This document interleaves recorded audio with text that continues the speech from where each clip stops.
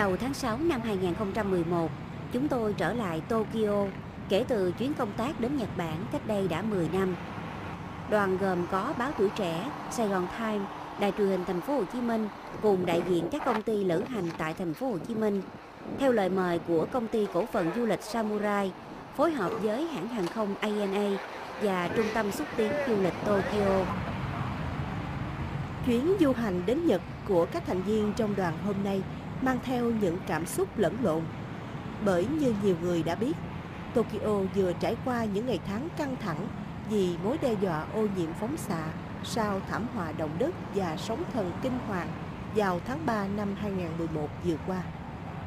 Rất nhiều người từ nhiều quốc gia trên thế giới cũng như ở Việt Nam đang hướng về xứ sở này với nhiều ưu tư lo ngại.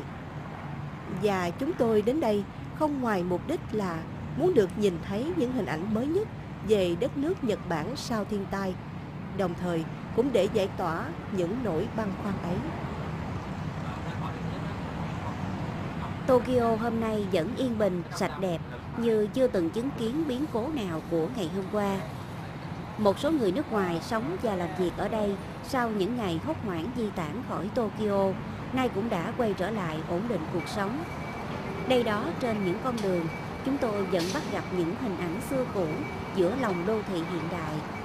Ý thức bảo vệ những giá trị truyền thống của người Nhật từ bao đời nay luôn được sự khâm phục của bạn bè quốc tế.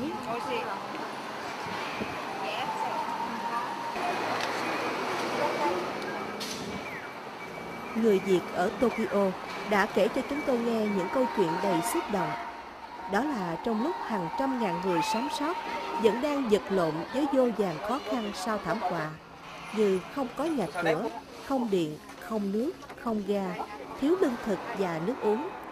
Nhưng nhiều người Nhật Bản vẫn sẵn sàng giúp đỡ những người nước ngoài, trong đó có các sinh viên và tu nghiệp sinh Việt Nam. Nhật Bản đang nỗ lực về mọi mặt để khôi phục nền kinh tế. Tuy vậy, có thể nói, chịu ảnh hưởng nặng nề nhất từ sau thảm họa động đất và sóng thần là ngành du lịch. Do tâm lý e ngại của du khách khắp thế giới khi chọn điểm đến là Nhật Bản. Chính vì thế, ngoài việc tham quan và danh lam thắng cảnh đẹp ở Tokyo và một số thành phố ở Nhật Bản, chúng tôi cũng đã có rất nhiều buổi gặp gỡ với các tổ chức, đơn vị cũng như các nhà cung cấp trong các lĩnh vực văn hóa, giáo dục, du lịch, những người đang mong muốn chuyển tải đến du khách quốc tế, trong đó có Việt Nam, hình ảnh một nước Nhật đang hồi sinh mạnh mẽ từng ngày. Người Nhật vẫn luôn lạc quan như tính cách cố hữu của họ. Có lẽ không cần phải dùng đến nhiều mỹ từ để nói về điều này. Một trong những minh chứng cho sự lạc quan của họ là không khí náo nức của cuộc thi Hoa hậu Hoàng vũ Nhật Bản mà đêm chung kết diễn ra vào ngày 17 tháng 6 năm 2011 tại Tokyo. Trước đó, cuộc thi lẽ ra được tổ chức vào tháng 3 nhưng đã bị quản lại vì thiên tai.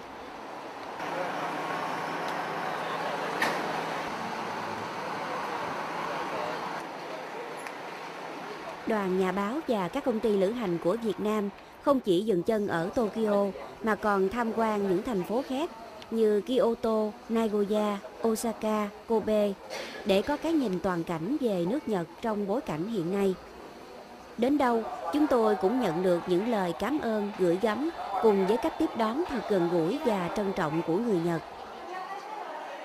Trong buổi gặp gỡ thân mật với một số quan chức trong ngành du lịch ở Tokyo, Giám đốc Trung tâm xúc tiến du lịch Tokyo, ông Akito Tadokoro cho biết. Sau thảm họa kép vào tháng 3 vừa qua, chúng tôi đã được sự giúp đỡ rất nhiều từ chính phủ cũng như người dân Việt Nam. Chúng tôi muốn bày tỏ lòng biết ơn và vinh dự được gặp quý vị ở đây. Có lẽ quý vị cũng đã nhìn thấy tình hình Tokyo ổn định và không có gì phải lo lắng. Vậy, hãy giúp chúng tôi bằng cách nói lên những điều mà các bạn đã chứng kiến ở đây. Để một ngày không xa, chúng tôi sẽ lại được đón tiếp những du khách Việt Nam đặt chân đến Nhật Bản. Và không chỉ có Tokyo đang quay về cuộc sống năng động thường nhật.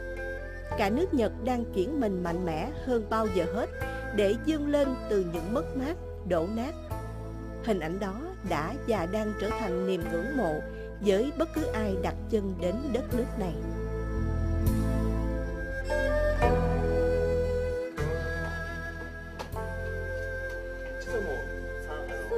Tokyo những ngày đầu tháng 6, không khí xe lạnh thật dễ chịu.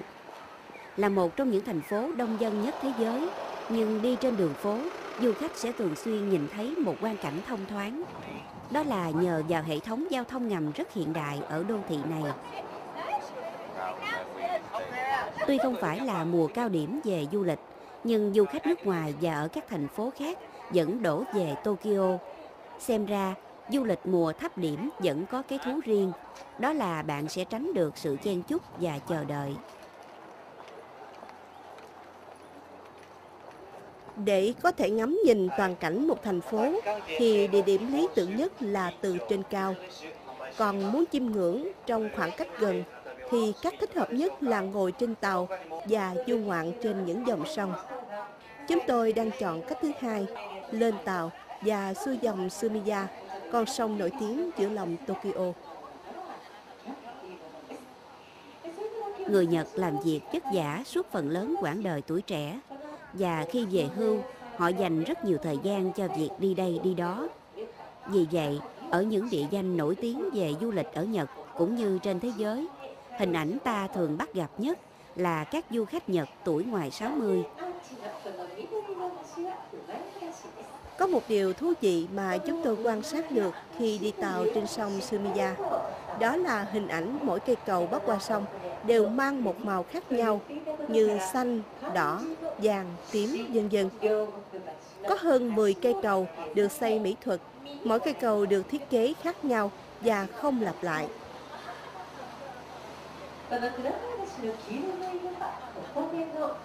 Được biết những cây cầu này được xây dựng ngay sau trận động đất Kanto năm 1923. Trận động đất được coi là lớn nhất trong lịch sử động đất Nhật Bản vào thời điểm đó.